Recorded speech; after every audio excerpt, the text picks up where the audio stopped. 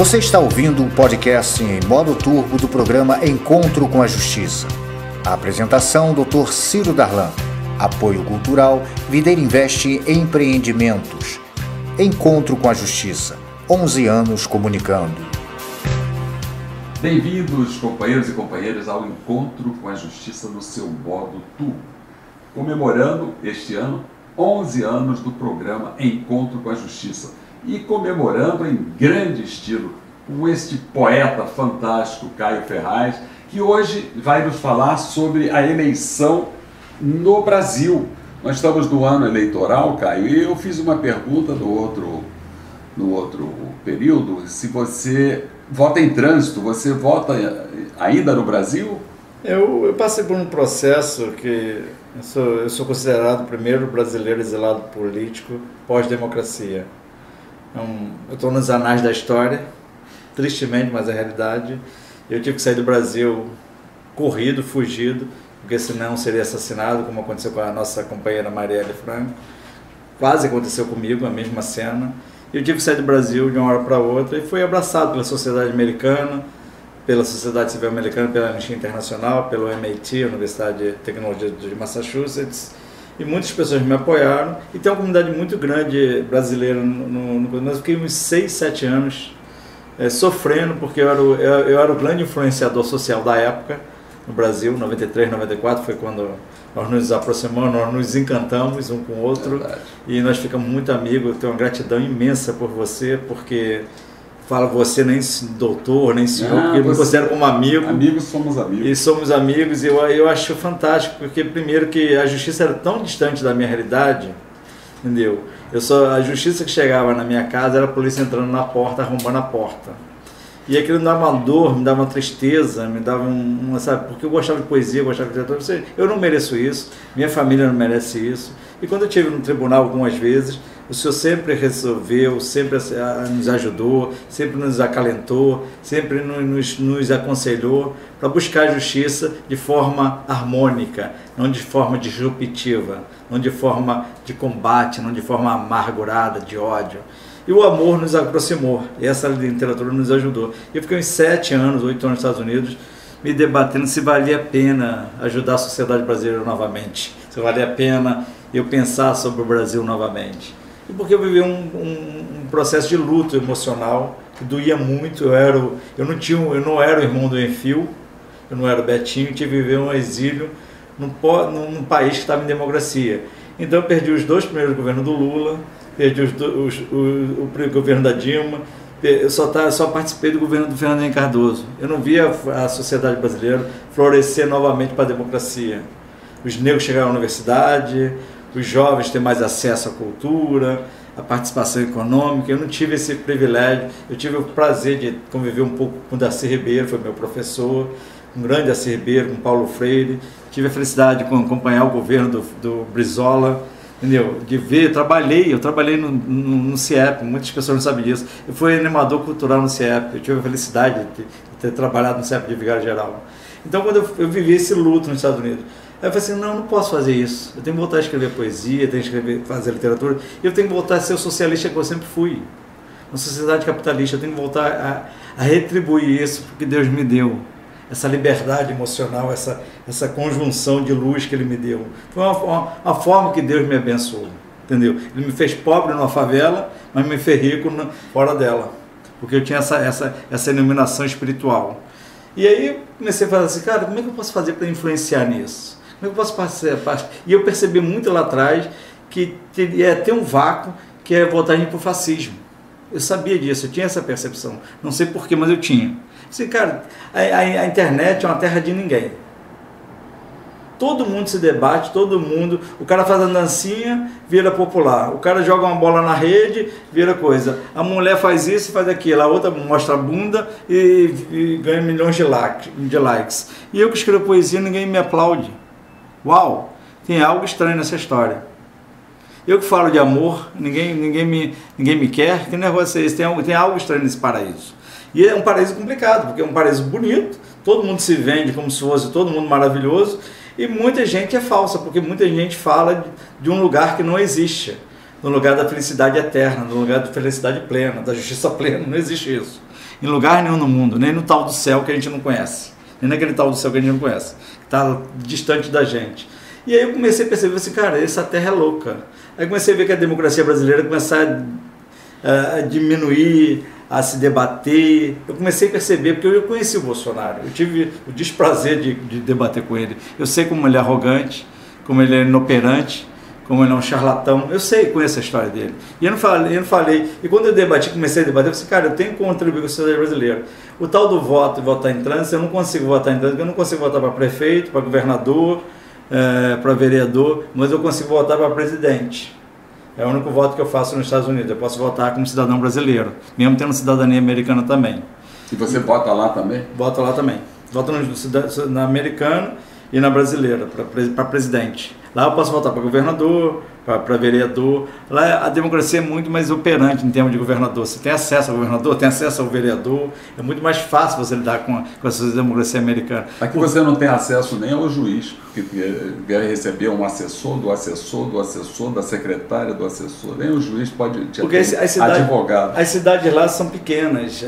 A cidade que eu moro, chamada Medford, do lado de Boston, ela é uma cidade pequena, de 30 mil habitantes ela é um município próprio, ela tem a sua prefeitura própria, a sua vereança própria, a sua polícia própria, seu bombeiro próprio, então é muito próximo, a cidade próxima, comparando. A Glória é uma cidade, Flamengo é outra cidade, Largo do, Largo do Machado é outra cidade. Todas iguais, né? Todas iguais. Todas iguais. A mesma, a, a mesma, mesma lógica. lógica. Mesma lógica. A mesma, a mesma urbanização. A mesma urbanização, mesmo, basicamente. Você não se perde, é só decorar o. Mesmo, basicamente o mesmo nome. Onde é que está uma igreja, é. onde é que está a Câmara, onde é que você sabe. Tem a, ver, tem a ver com isso. Então você tem a, a participação americana é mais, mais próxima. A polícia é mais atuante em termos de comunidade, de proteção de comunidade apesar do racismo, apesar dessa desigualdade, mas a polícia é muito mais próxima. Então, o policial você conhece, ele mora ao teu lado. Entendeu? Tem as injustiças? Tem. Tem concentração de renda? Tem. Tem as desigualdades? Tem enormes. Tem muita coisa que é errada nos Estados Unidos pra caramba. Quem bate muita palma nos Estados Unidos não percebe que é uma sociedade estranha para eles mesmos. Tem um texto chamado Sonar Serema, que é Americanos ao Contrário, escrito por um antropólogo americano, que ele mesmo se assusta quando ele volta para os Estados Unidos depois de 40 anos e ele olha para a sociedade americana, o americano pede é, batata frita, hambúrguer e Coca-Cola Diet. Uau, tá errado isso. Como é que eu vou pedir batata frita, hambúrguer e pedir Coca-Cola Diet?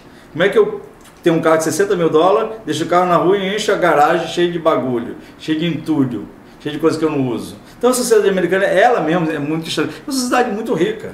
A gente está falando de economia, primeira economia do mundo é um, é um poder aquisitivo muito grande. Só que ela se autoflagela, né, em termos de, de, sociedade. O voto tem a ver com essa coisa, a percepção do mundo. Então o que eu faço? Eu escrevo muito sobre o Brasil e quase nada sobre a América do Norte. Eu escrevo sobre a América do Sul, que é onde eu pertenço, onde meu coração bate mais forte. Pois é, então eu queria te perguntar assim, qual foi a percepção que você teve depois de tantos anos na América? Eu sei que você volta de vez em quando e voltar ao Brasil.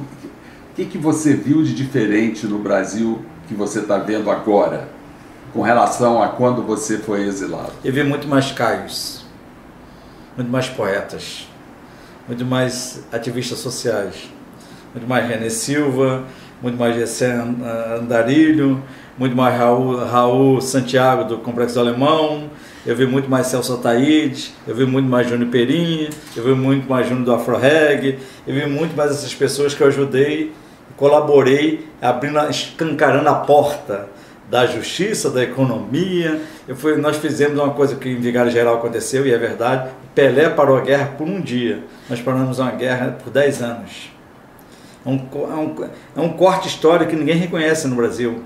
E cada um na sua área, né? O Júnior do AfroReg, com essa oportunidade que ele dá para os egressos, para entrar na, na cinematografia, no teatro, o Júlio Perim com aquele teatro dele, em que ele acolhe a população das comunidades, né? até mesmo esse, esse teatro de lona lá do Júlio Perim, eu, eu, fui sócio dele na abertura, né? Uhum. quando nós abrimos, e a ideia era justamente trazer aqueles artistas de rua, aqueles meninos que faziam malabarismo espetacular nas ruas, e, e, e trazer para o circo Crescer e Viver, uhum. do Júlio Perim, para profissionalizar esses meninos. E alguns conseguiram é, é, subir na vida. Tem alguns meninos lá do Crescer e Viver que estão até no, no, no, no Circo de Soleil.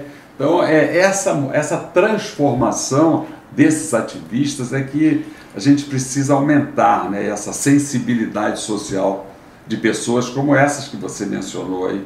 Eu costumo dizer que o Rio de Janeiro, quando fui juiz da infância da juventude, tinha alguns anjos da guarda aqui. Tinha a Maria Cristina Sá, que era uma mulher fantástica, fantástica. maravilhosa tinha a Ivone Bezerra de Mello. Tinha, não tem? Fantástico, foi um trabalho fantástico. É, mas eu estou falando daquela época que era mais ativa, é. né? Mas ela é, mas ela, o trabalho da. da, da Fantástico. Tinha a, a Gisela Amaral. Gisela, Gisela Amaral. Amaral. Quer dizer, duas socialites que podiam, três socialites é, que podiam estar vivendo lá o seu luxo, a sua riqueza, mas se dedicavam à pobreza, né?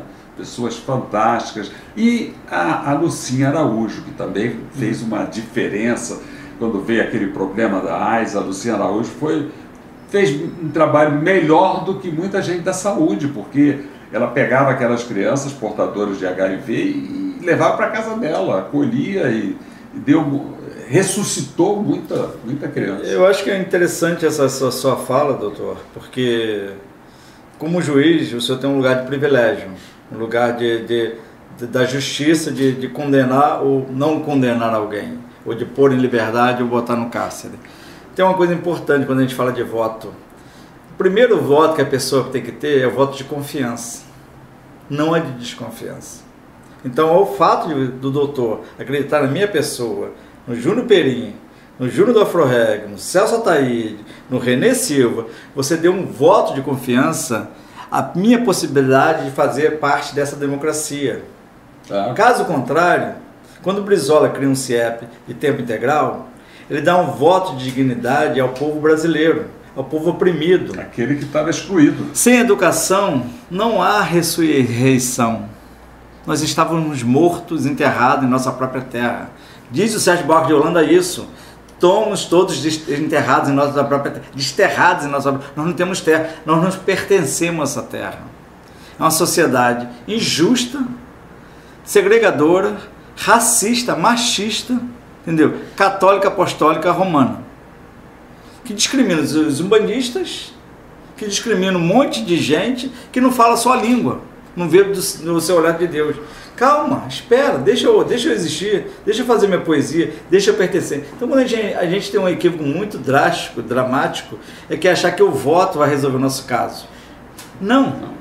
É, o voto não é o voto de botar na urna. É lógico que a gente tem que eleger. É o ativismo. É, é o ativismo social. que vai fazer a gente pertencer. Isso lá nos Estados Unidos tem mais, né? Tem Porque muito mais. tem muitos voluntariados, muita gente que é estimulada a ajudar as pessoas necessitadas. E aqui nós já tivemos uma fase de um ativismo muito grande, quando o Estatuto da Criança e do Adolescente foi aprovado, quando a, a, as organizações sociais estavam nas ruas pedindo democracia, que a gente estava saindo de um período de ditadura, de opressão, de aprisionamento, de trevas. Então as pessoas eram mais ativas. Eu, eu, eu sinto falta desse tempo. É. Eu sinto falta de pessoas como você, como esses que você mencionou aí, o MV Bill, pessoas, pessoas que fizeram a diferença mas não sei se depois se acomodaram ou cansaram e essa resistência tem que ser permanente. A gente passa, paga um preço caro por isso, mas a gente não pode é, deixar de lutar por aqueles que precisam que nós emprestemos a nossa voz para eles e até possamos dar a voz para eles mesmos, que isso é que é mais importante, que a gente não pode falar do lugar do outro, é o outro que tem que falar do lugar de oprimido. Né? E, mas isso nós vamos ver no próximo bloco, porque estamos aqui divagando, filosofando, poetando sobre a necessidade de respeito ao próximo, de respeito, de dignidade à pessoa humana, o nosso querido poeta Caio Ferraz. No próximo bloco nós vamos falar mais disso, vamos falar da Academia Brasileira de Letras do Cárcere. Até lá. Você está ouvindo o podcast em modo turbo do programa Encontro com a Justiça. A apresentação, Dr. Ciro Darlan. Apoio cultural, Videira Investe Empreendimentos. Encontro com a Justiça. 11 anos comunicando. Se apronte para votar. É título. Tudo tá no celular nessa era digital. Tem até aplicativo de título eleitoral. O e-título tem o número do título do eleitor e o local da votação. Se tiver foto, vale como documento na sessão eleitoral. E ainda serve para justificar a ausência na votação. Não deixe para a última hora. Baixe o e-título agora. Justiça Eleitoral, a justiça da democracia.